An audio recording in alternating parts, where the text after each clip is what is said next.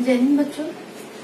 पिछला लेक्चर जो हमारा था एसेंट का, उसमें हम लोगों ने क्या देखा था? कौन सा केस लिया था? जब जो रेजिस्टिंग मीडियम है, उसका रेजिस्टेंस वेरी कर रहा था डायरेक्टली एज द वेलोसिटी ठीक है? तो आज का जो सेकंड केस है, उसमें हम लोगों को क्या पढ़ना है? जब रेजिस्टिंग मीडियम का रेजिस्टेंस वेरी कैसे कर रहा है? Square of the velocity okay तो कोई पार्टिकल है? जिसे प्रोजेक्ट किया गया अपवर्ड डायरेक्शन में, जैसा पिछला केस था अपवर्ड डायरेक्शन में मोशन के लिए कुछ उसे वेलोसिटी यू दी गई और उसे अपवर्ड प्रोजेक्ट किया गया। और जिस मीडियम में ये पार्टिकल मोशन इसका हो रहा है, वो क्या है? उसका रेजिस्टेंस जो है वो directly proportional to velocity square तो हमें इसका मोशन डिस्कस करना है। मान लिया पार्टिकल अपवर्ड मोशन के समय पी पॉइंट पे है। जिस समय इसका इस ओ पॉइंट से डिस्टेंस जो है एक्स है ओके इस पॉइंट पी पर हमने मान ली कि पार्टिकल की वेलोसिटी क्या है? स्मॉल बी जो अपवर्ड डायरेक्शन में अब पी पर फोर्सेस क्या क्या वर्क करेंगे? पी पर दिख रहा है हमें कि दो फोर्सेस हैं। एक तो है वेट एम जी जो डाउनवर्ड डायरेक्शन में, यानी एक्स डिक्रीजिंग डायरेक्शन में। और दूसरा है the force due to resistance वो भी क्या है? एम के वी स्क्वायर उसका डायरेक्शन भी डाउनवर्ड डायरेक्शन में क्योंकि मोशन अपवर्ड तो force due to resistance downward तो ये दोनों फोर्सेस हमारे एक्ट कर रहे हैं और दोनों ही एक्स घटने के डायरेक्शन में एक्ट कर रहे हैं। तो पी पॉइंट पर जो हमारा इक्वेशन ऑफ़ मोशन होगा, वो कुछ इस तरह दिखेगा। Equation of motion at point P is M X double dot equal ये अपवर्ड डायरेक्शन में है एक्स बढ़ने के डायरेक्शन में। एम जी एक्स घटने के डायरेक्शन में है तो नेगेटिव साइन के साथ। और ये भी घटने के डायरेक्शन में है, यानी ये भी नेगेटिव साइन के साथ एम के बी स्क्वायर ठीक? इसे हम कुछ लिख सकते हैं इस तरह से X double dot equal minus G plus minus G minus या minus G plus K V square okay next step में हम लिख सकते हैं X double dot equal minus G plus G by U square V square अब ये हमारा यहाँ पर के जो है, उसकी वैल्यू आई है हमारी जी बाई यू स्क्वायर ये कैसे आई? ड्यूरिंग डाउनवर्ड मोशन अगर सेम मीडियम में पार्टिकल का मोशन क्या है? डाउनवर्ड मोशन है. During downward motion in the same medium अगर सेम मीडियम में पार्टिकल डाउनवर्ड मोशन कर रहा है ओके okay? और मान लिया कि किसी टाइम पर इसने अटेन कर ली constant terminal velocity U terminal velocity U तो उस समय हमें पता है कि एक्सेलरेशन जो है वो ज़ीरो हो जाता है X double dot equal zero okay और इक्वेशन ऑफ़ मोशन उस केस में क्या होगा हमारा? Equation of motion downward motion के समय होगा M X double dot equal M G minus M K B square okay तो यहाँ से जब हम v की जगह कैपिटल u रखेंगे, x डबल डॉट की जगह ज़ीरो रखेंगे तो हमें क्या मिलेगा? K इक्वल मिलेगा g by U square capital U square okay तो ये हमारा k equal g by U square है। U यहाँ पर टर्मिनल वेलोसिटी है u is terminal velocity during downward motion ये हमारा ये स्टेप आ गया। अब इस इक्वेशन को हम लिख सकते हैं। X डबल डॉट इक्वल्स इसी को हम लिख सकते हैं। X double dot equal minus G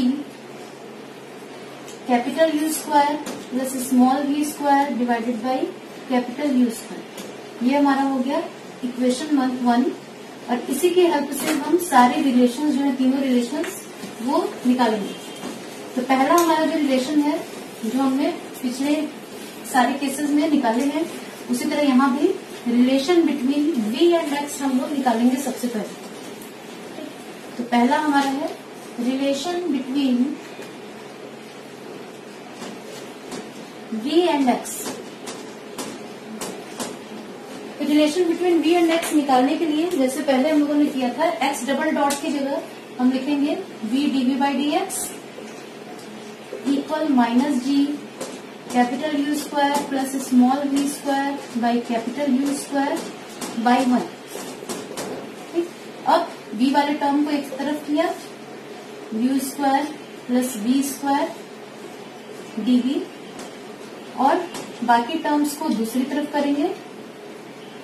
dx और उसके बाद क्या करेंगे? इंटीग्रेट कर देंगे।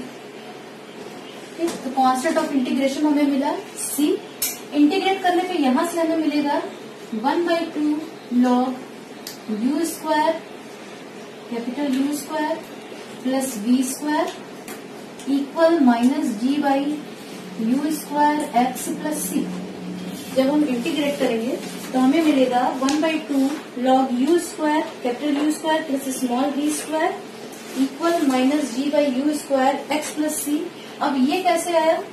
ये आप लोगों ने डिफरेंशियल इक्वेशन इंटीग्रेशन वगैरह किया होगा तो जानते होंगे।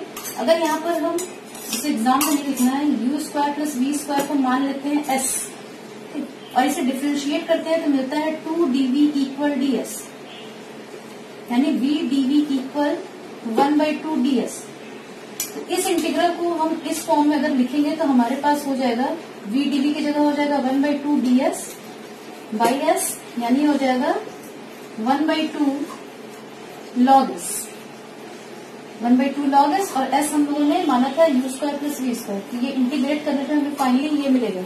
ये एक्सप्लेनेशन आपको एग्ज़ाम में नहीं देना है। खुद के समझने के लिए। इंटीग्रेशन से आप लोग अच्छी तरह से वाकिफ हैं, कैसे किया जाता है। तो ये बस जिन्हें नहीं समझ में आया वो उनके लिए। अब यहाँ पर कांस्टेंट सी जो है, हमें ये निकालना है। तो इनिशियल कंडीशन पॉइंट ओ पे। एट पॉइंट ओ पे हमारे पास जो वेलोसिटी थी, वो प्रोजेक्ट की गई थी, इतनी वेलोसिटी से पार्टिकल को ऊपर प्रोजेक्ट किया गया था और उस समय एक्स जो है डिस्टेंस कवर्ड ज़ीरो तो यहाँ पर ज़ीरो रखेंगे, यहाँ पर स्मॉल यू तो हमें सी इक्वल मिलेगा one by two log capital U square plus small u square ठीक? और जैसे ये वैल्यू यहाँ पुट करेंगे तो हमें मिलेगा relation between d and x तो क्या करेंगे? सी की ये वैल्यू पुट करेंगे हम लोग। जो हम लोगों ने निकाली है तो हमें मिलेगा one by two log capital U square plus V square equal minus G by capital U square X और सी की वैल्यू है one by two log capital U square plus small U square और फिर ये term इधर लाएँगे और इस टर्म को इधर लाएँगे। तो मिलेगा हमें g by capital U square x equal one by two log capital U square plus small u square divided by capital U square plus v square ठीक? यानी हमें यहाँ से मिलेगा एक्स इक्वल हमारा पहला रिलेशन जो है वो मिल गया हमें। हमें मिलेगा x equal v u square by two g log capital U square plus small u square divided by capital U square plus v square ये हमारा हो गया relation between x and t v and x relation between v and x okay अब यहाँ पे फिर वही बात आती है कि हमें चाहिए वैल्यू की maximum height attend by the particle उसके लिए वैल्यू चाहिए एक्सप्रेशन चाहिए। तो हमारा नेक्स्ट ये कोरलरी हुआ maximum height to find greatest height attend to find greatest height attend तो जैसा कि मैंने पिछले वाले केस में डिस्कस किया था कि जब पार्टिकल मैक्सिमम पोजीशन पे पहुँचा, उस समय क्या है, उसकी वेलोसिटी उस पॉइंट पे ज़ीरो हो जाएगी, ठीक? मान लिया हम लोगों ने कि जिस पॉइंट से प्रोजेक्ट किया गया था और जो मैक्सिमम पॉइंट है या ग्रेटेस्ट हाइट है, उन दोनों पॉइंट के बीच डिस्टेंस जो है वो कैपिटल एच है, ठीक? मान लिया कि जो एक्स है, वो कैपिटल एच है, और पता है हमें कि उस समय वेलोसिटी जो है वी उस पॉइंट पे क्या हो जाएगी? ज़ीरो हो जाएगी। Let h be the greatest height attend by the particle. Let h be the greatest height attained by the particle, then x equal h and b equal zero at that point. At that point और जो हमारा ये expression था relation यहाँ से हमें मिल जाएगा ये वैल्यूज़ यहाँ हम ले जाकर पुट करेंगे तो हमें मिलेगा h equal u square by two g log यहाँ हमारा ज़ीरो हो गया और बाकी टर्म वैसे के वैसे ही u square plus small square by capital U square तो ये हो गया expression for greatest height attend by the particle next है हमारा relation between b and t relation हमारा जो बी एंड टी का है, वही हमने चारों केस में सेकंड केस में सेकंड वही निकाला है रिलेशन जो भी हमने केसेस पढ़े हैं। तो नेक्स्ट है relation between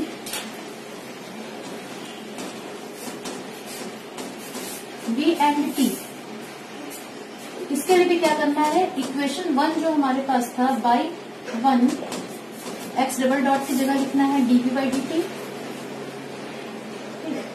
dv by d t equality के दूसरी तरफ़ हमारा आएगा minus g by u square bracket में u square plus v square okay equation one जो हमारा था, उसे हम कुछ इस तरह से लिख सकते हैं।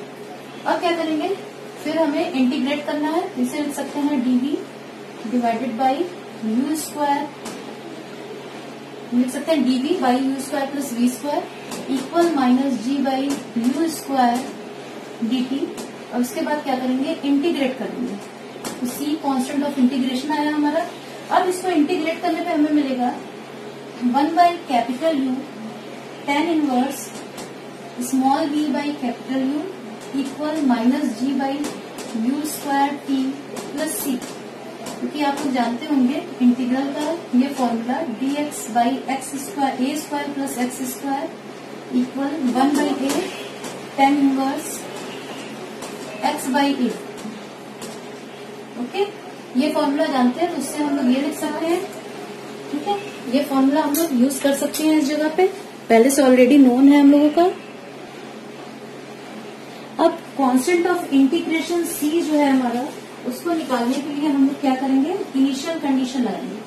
Okay initially at point o initially at point o हमारे पास टाइम टी क्या है उस समय ज़ीरो है और वेलोसिटी कितनी थी उसके पास? स्मॉल यू तो यहाँ पर ज़ीरो यहाँ पर स्मॉल यू तो हमें मिलेगा सी इक्वल कैपिटल सी की वैल्यू हमको मिलेगी one by capital U tan inverse small u by capital U ठीक है, ये सी की वैल्यू आई और इस सी की वैल्यू को ले जाकर जब हम यहाँ पुट करेंगे तो हमें मिलेगा relation between v and t okay relation between b and p हमें यहाँ से मिलेगा।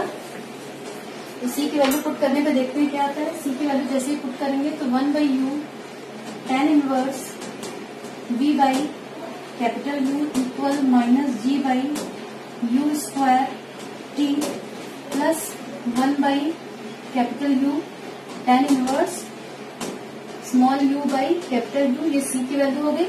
यहाँ से हम लोग क्या करेंगे? इस टर्म को इधर लाएँगे। G t by u square और जो दोनों टेन इनवर्स वाले टर्म है, उसको एक साथ करेंगे। दोनों टेन इनवर्स वाले टर्म एक साथ तो हो गया वन बाई यू कॉमन है दोनों में, और हो जाएगा tan inverse small v by capital U ये हमारा इस तरफ़ आएगा तो माइनस हो जाएगा तो ये हमारा पहले से यहाँ पर है यू बाई कैपिटल यू और ये हमारा यहाँ पर आया minus tan inverse small v by capital U ये साइड इधर ले गए तो नेगेटिव साइन के साथ आ गया। यानी यहाँ से हमें मिला टी इक्वल यू और यू एक कैंसिल हो जाएगा, बचेगा capital U by g tan inverse u by capital U minus tan inverse small u small v यहाँ पे स्मॉल वी है बाई कैपिटल यू ये हमारा हो गया relation between t and x t and v relation between V and T. Okay अब यहाँ पर फिर से हम क्या करेंगे? Time taken to reach the greatest height ये निकालेंगे।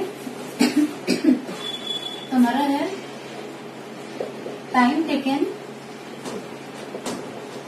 to reach the greatest height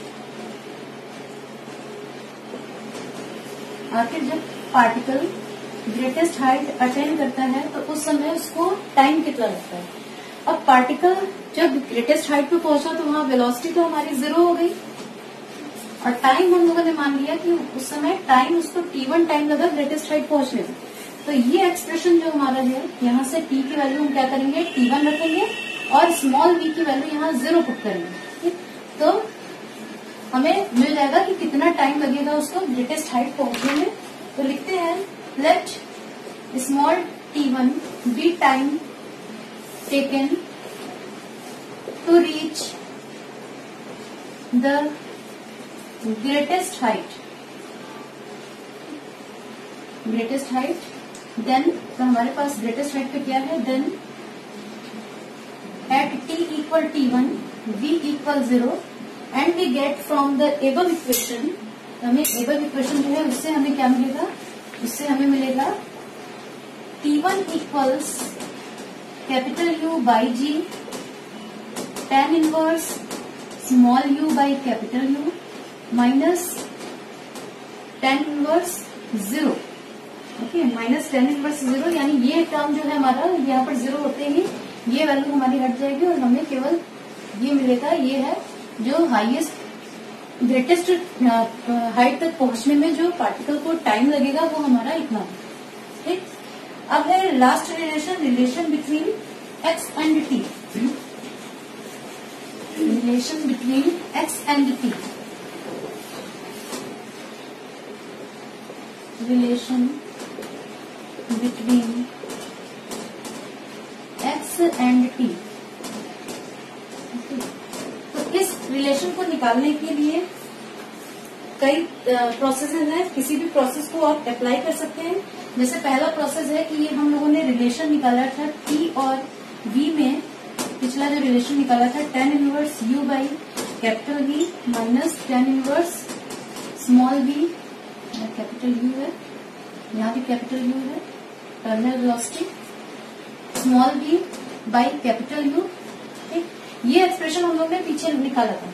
अब यहाँ से हम क्या कर सकते हैं? इस v का जो v है, इसको लेफ़्ट हैंड साइड में लाएँगे, बाकी सारे टर्म को दूसरी तरफ़ ले जाएँगे। फिर v की जगह लिखेंगे dx बाई डी और फिर क्या करेंगे? इंटीग्रेट कर देंगे। तो उस केस में हमें एक relation between x and t मिलेगा। दूसरा तरीका क्या है?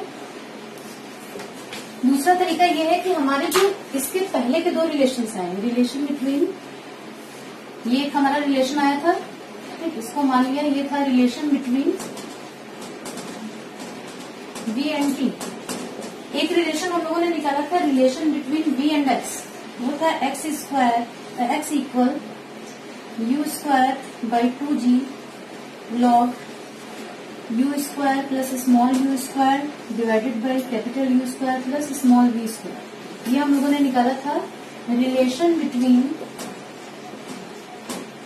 b and x तो इस तरीके में क्या करेंगे हम लोग? हम क्या कर सकते हैं कि हम v की वैल्यू यहाँ से निकालेंगे ओके और वो वैल्यू ले जाकर क्या करेंगे? यहाँ रख देंगे। यहाँ से v की वैल्यू एलिमिनेट की हमने और ले जाकर यहाँ पे रख देंगे। तो यहाँ से v की जो एलिमिनेटेड वैल्यू होगी वो किस फॉर्म में होगी? T के फॉर्म में। और यहाँ पर जब हम रखेंगे तो हमें क्या मिलेगा? X और t में एक रिलेशन मिलेगा। एक और जो चीज़ कर सकते हैं, वो क्या कर सकते हैं? यहाँ से हम लोग बी की वैल्यू निकालें, इस इक्वेशन से। यहाँ से v की वैल्यू जो निकालेंगे तो x के फॉर्म में आएगी।